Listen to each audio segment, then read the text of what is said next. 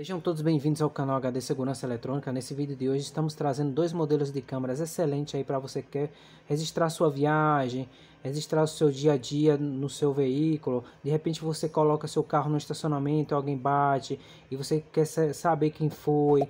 Muitas vezes você trabalha como motorista de aplicativo, você quer registrar as pessoas que entram e saem do seu veículo, também o som dessas pessoas que está sendo dialogado dentro do veículo essas são as câmeras ideais. Vamos começar a demonstração com essa câmera daqui. Essa câmera aqui, ó, o modelo dela é a DC3201. Essa câmera conta com a câmera frontal e uma câmera para a parte interna do veículo, sendo que essa câmera aqui ela tem infravermelhos. De repente você está viajando à noite e você queira registrar o ambiente é, em preto e branco, ou seja, ver tudo só que em preto e branco. Essa câmera vai visualizar perfeitamente em qualidade Full HD. Essa câmera é excelente assim porque você também poderá estar tá fazendo os ajustes dessa aqui, ó, posicionamento. Ela quando você compra essa câmera, ela vem com essa ventosa para você colocar lá no vidro do seu carro, conectar. A instalação é bem prática. E continuando ainda sobre essa câmera, aqui a parte do do cartão de memória, essa parte aqui, ela pega até 128 GB de memória. Aqui tem todos os botões de ajustes. Já já vamos mostrar toda a configuração dessa câmera, como é que funciona. Essa câmera aqui não conta com bateria interna, entendeu pessoal? De repente você quer filmar a câmera fora do cabo, não é possível com essa câmera. Vamos mostrar para vocês, vamos apertar aqui, ó. Tá vendo? Ela não liga. Ela tem uma pequena bateriazinha, é mais para armazenar a hora e a data, somente para isso. Ela não funciona se você tirar do, do USB. Na hora quando você está desligando, ela desliga o carro, o carro, desliga ela também. Então, caso a questão de colisão, vou mostrar a diferença dessa aqui. Questão alguém bata no seu carro, seu carro está estacionado, ela não vai fazer a, não vai ligar para filmar aquele min, minuto daquela pessoa que bateu no seu veículo. Aí não tem como você identificar, entendeu? Vamos mostrar outra câmera aqui da Intelbras. Tem essa outra câmera aqui, ó. Essa é uma câmera que eu mais gosto é essa aqui, ó. Essa câmera aqui é uma câmera da Intelbras, vou mostrar para vocês o modelo DC3101. Essa é uma das melhores câmeras para veículo, eu, pelo menos eu acho, né? Essa câmera aqui, ela conta com bateria interna, você poderá estar tá ligando ela fora do carro, não precisa de você estar tá com cabo USB ligado o tempo todo, vou mostrar aqui, ó, aqui, ó. Não precisa estar, tá. vamos ligar ela aqui para vocês verem. No botão de power. Vocês podem ver que a mesma já ligou, já está saindo o vídeo, já está gravando também. Outra coisa que eu gosto dela é o seguinte, de repente você coloca essa câmera lá instalada no seu veículo. Você deixa essa, o seu carro no estacionamento e alguém está ali na frente, dá uma ré e bate no seu veículo.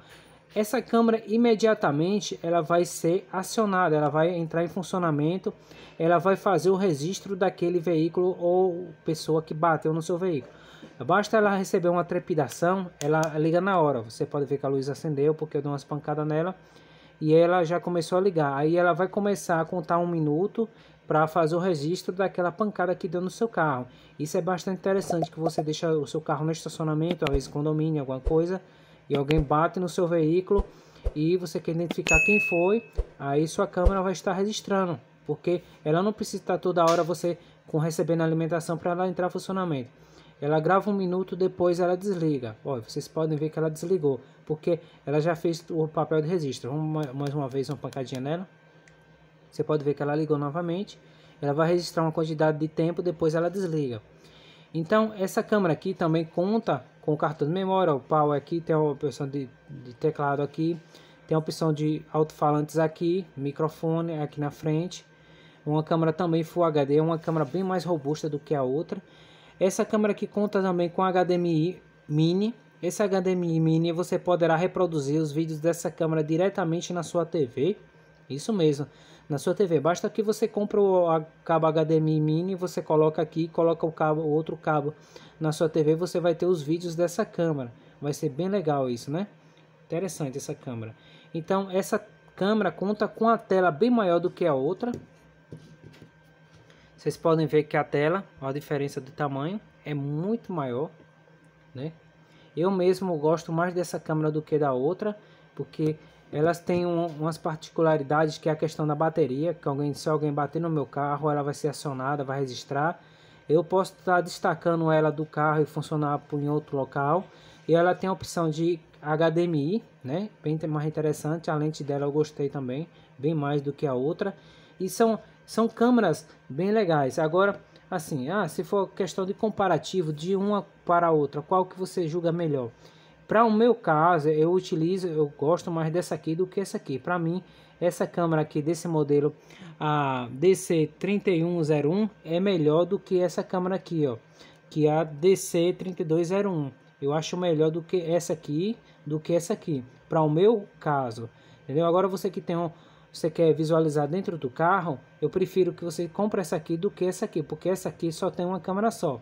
Já essa aqui tem um, uma câmera. Ou seja, essa aqui tem uma câmera, essa aqui tem duas. Então, é bem melhor é uma do que a outra. Você já pode ver que ela ligou. O mais interessante para mim é isso aqui. Se alguém bater, eu sei quem foi.